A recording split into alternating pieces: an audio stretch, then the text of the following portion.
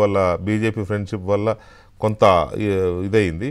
So అయినా కూడా ఎంతవరకు ఈ కూటమి ఇదైంది సక్సెస్ఫుల్గా తీరం చేరింది అనేది ఒక అంశం.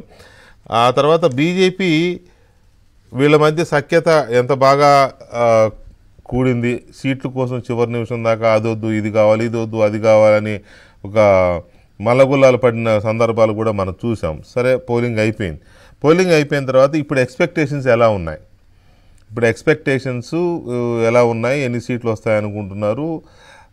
తర్వాత బీజేపీ ఒక్క ఒక్క హామీ కూడా స్పష్టంగా ఇవ్వాల. మేనిఫెస్టో ఇవ్వలేదు. ఎక్స్ ఎక్స్క్లూజివ్ మేనిఫెస్టో ఇవ్వాల. మీటింగుల్లో చెప్పొచ్చు. బ్రహ్మాండంగా అమరావతిని చేస్తాం పోలవరం చేస్తాం. ఇట్లాంటి బహిరంగ సభల్లో చెప్పారు కానీ మేనిఫెస్టో అంటూ ఇవ్వాల. టీడీపీ మేనిఫెస్టో ఇచ్చింది జనసేన మేనిఫెస్టో ఇచ్చింది. రెండు కలిపి వాళ్ళు ప్రజల ముందు తెచ్చారు. బీజేపీ మేనిఫెస్టో ఇవ్వలేదు. మాది నేషనల్ మేనిఫెస్టో స్టేట్ వైడ్ ఉండదన్నారు. దాని మీద కూడా వైసీపీ వాళ్ళు వీళ్ళ మేనిఫెస్టోకి బీజేపీ ఆమోదం లేదని అది కూడా ట్రోల్ చేశారు. మనం చూసాం మనం. సో ఇలాంటి పరిస్థితుల్లో బీజేపీ ఆంధ్రప్రదేశ్లో ఎన్డీఏ ప్రభుత్వం ఖచ్చితంగా వచ్చి తీరుతుందని నమ్ముతుందా అనే పాయింట్ ఒకటి. వస్తే ఇమీడియట్గా కేంద్రం వైపు నుంచి ఎలాంటి లాభాలు చేస్తుంది ఏ ఆంధ్రప్రదేశ్ ఎందుకంటే ఆంధ్రప్రదేశ్ ఆల్మోస్ట్ కునారి వెళ్ళిపోయింది కుదేలైపోయింది. ఒక రకంగా చెప్పాలంటే ఆంధ్రప్రదేశ్ ఏమి లేదు ఇప్పుడు. ఏం లేదు. సో ఈ పరిస్థితుల్లో ఆంధ్రప్రదేశ్ని ఎలా ఆదుకునే అవకాశం ఉంది. తర్వాత రెండు రోజులుగా మనం చూస్తున్నాం అక్కడ ఏదో ఫైల్స్ తగలబెట్టారు ఇంకా ఫైల్స్ మాయం చేసే ప్రయత్నం జరుగుతోంది అదేదో సాఫ్ట్వేర్ సాఫ్ట్వేర్ అప్గ్రేడ్ చేయాలనే దీంతో అక్కడ ఏదో కుట్ర చేస్తున్నారని అఫ్కోర్స్ చంద్రబాబు నాయుడు గారు లేఖ రాసిన తర్వాత ఎలక్షన్ కమిషన్ ఆపేసింది అనుకోండి కానీ ఏంటి ఆ ప్రయత్నం ఏం జరిగింది ఎందుకు జరిగింది? ఇలాంటి అంశాలు మనం బీజేపీ సీనియర్ నేత అధికార ప్రతినిధి దినకర్ గారితో మాట్లాడదాం ఒక చిన్న బ్రేక్ తర్వాత.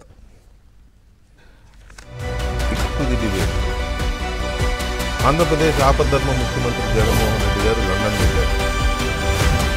లండన్ వెళ్ళడం కొత్త ఏం కాదు గతంలో కూడా వెళ్ళారు. ఎందుకంటే వారి పిల్లలు అమ్మాయి ఇద్దరు అక్కడ చదువుకుంటున్నారు కాబట్టి సరే ఏడాదికి ఒకసారి వెళ్ళి వాళ్ళని చూసి కుటుంబంతో గడిపి రావడం అనేది ఒక సహజంగా ఎవరైనా చేస్తారో. అలాగే ఆయన కూడా వెళ్తూ ఉంటారు.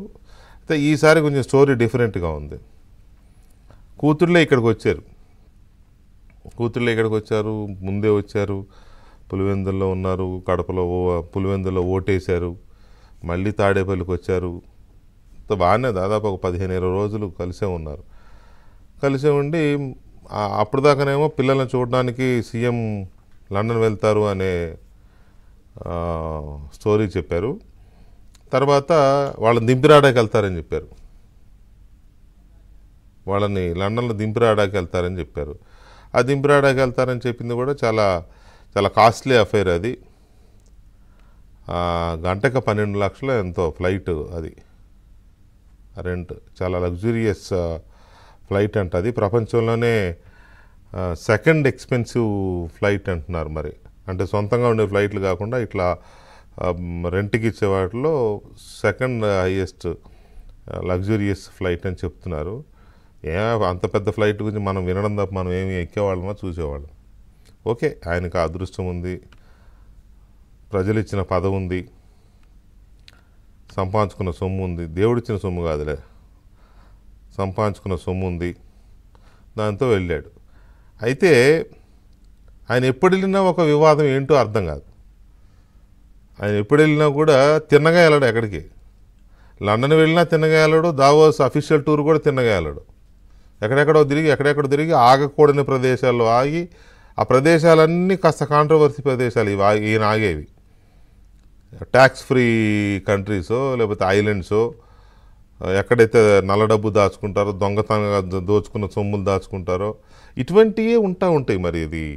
అక్కడే అక్కడే ఎందుకు ఆగుతాడో అక్కడే విమానానికి టైర్లు పంచర్ అవుతాయా లేకపోతే something I don't know satire కూడా కాదు కాకపోతే సిచ్యువేషన్ అలా ఉంది. ఇప్పుడు ఈసారి కూడా అంతే అయింది. ఆయన వెళ్ళంగానే అది ఎటుపోతుంది? ఫ్లైట్ అని ట్రాక్ చేసేవాళ్ళు ఉంటారు కదా. ఆ ట్రాక్ చేస్తూ పోతే ఆయన డైరెక్ట్గా లండన్ పోలా. ఆమ్స్టర్డామ్లో నెదర్లాండ్స్ ఆమ్స్టర్డామ్లో దిగారు. ఆమ్స్టర్డామ్కు ఉన్న ప్రత్యేకత ఏంటి అని అంటే ఈ మధ్యకాలంలో అది హవాలా బాగా అక్కడ పెద్ద కేసులు కూడా అయినాయి చట్టాలు కూడా చేశారు అక్కడ. ఈ హవాలాకు సంబంధించి పెద్ద గొడవ అవుతుంది ఆమ్స్టర్డామ్ నెదర్లాండ్స్లో.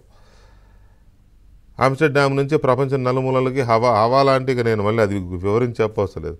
హవాలా సొమ్ముని వివిధ దేశాలకు తీసుకెళ్ళడానికి అక్కడి నుంచి అది సెంటర్గా మాఫియాలు పనిచేస్తున్నాయి.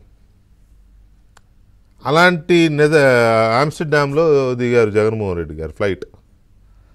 దిగారు మరి అక్కడ కొన్ని గంటలు ఉన్నారులే రోజంతా లేదు. తర్వాత మళ్ళీ అక్కడి నుంచి ఫ్లై అయిపోయి లండన్ వెళ్ళారు. ఆ లండన్ వెళ్ళిన అక్కడ దిగిన విజువల్స్ కూడా వచ్చినాయి అక్కడ తెలుగు వాళ్ళు ఆయన అభిమానులు స్వాగతం పలికారు. ఓకే అది తర్వాత సాఫీగా జరిగింది. లండన్లో మరి ఏం చేస్తారు? ఈ ఈ పది రోజులు అంటే ఫ్యామిలీ టూరు సరదాగా ఎంజాయ్మెంట్ తప్పదు. అది ఓకే ఓకే. కాకపోతే ఈ టూర్ ఎలా సాగింది? To the debate. ఆంధ్రప్రదేశ్ ఆపద్ధర్మ ముఖ్యమంత్రి జగన్మోహన్ రెడ్డి గారు లండన్ వెళ్ళారు. లండన్ వెళ్ళడం కొత్త ఏం కాదు గతంలో కూడా వెళ్ళారు. ఎందుకంటే వారి పిల్లలు అమ్మాయి ఇద్దరు అక్కడ చదువుకుంటున్నారు కాబట్టి సరే ఏడాదికి ఒకసారి వెళ్ళి వాళ్ళని చూసి కుటుంబంతో గడిపి రావడం అనేది సహజంగా ఎవరైనా చేస్తారో. అలాగే ఆయన కూడా వెళ్తూ ఉంటారు. అయితే ఈసారి కొంచెం స్టోరీ డిఫరెంట్గా ఉంది. కూతుళ్ళే ఇక్కడికి వచ్చారు. కూతుళ్ళే ఇక్కడికి వచ్చారు ముందే వచ్చారు. పులివెందుల్లో ఉన్నారు కడపలో పులివెందుల్లో ఓటేశారు మళ్ళీ తాడేపల్లికి వచ్చారు. బాగానే దాదాపు ఒక పదిహేను ఇరవై రోజులు కలిసే ఉన్నారు. కలిసే ఉండి ఆ- అప్పుడు దాకానేమో పిల్లల్ని చూడడానికి సీఎం లండన్ వెళ్తారు అనే స్టోరీ చెప్పారు. తర్వాత వాళ్ళ right welcome back to the debate.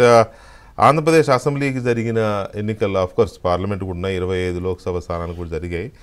ఇది మొదటి నుంచి పొత్తు ఉంటుంది పొత్తు ఉంటుంది అనుకుంటే చివరి నిమిషంలో మళ్ళీ ఏదో కాస్త కొంత గందరగోళం అయితే ఏర్పడింది. ఉంటుందా ఉండదా ఉంటుందా ఉండదా అని. మొత్తానికి ఓకే ఒక టూ త్రీ వీక్స్ ముందు పొత్తు అనౌన్స్ చేశారు. బీజేపీ కూడా ఆ కూటమిలో కలిసింది. ఎన్డీఏ కూటమిగా మొత్తంగా ఒక సాలిడ్ కూటమిగా ఏర్పాటైంది. కానీ ఎక్కడో సఖ్యత లేదు లేకపోతే కొట్టుకుంటున్నారు అంతర్గతంగా. కొట్టుకోవడం అంటే ఏదో కుమ్ములాటలు ఏ ఇలాంటివి ఉన్నాయి టికెట్ విషయంలో కానీ ఏ సీట్లు ఎవరనే విషయం ఇటువంటి ఏ ఉన్నాయన్నారు. ఆ ఓట్ ట్రాన్స్ఫర్ అవ్వకపోవచ్చు అని ఇట్లాంటి కొన్ని జరిగినాయి.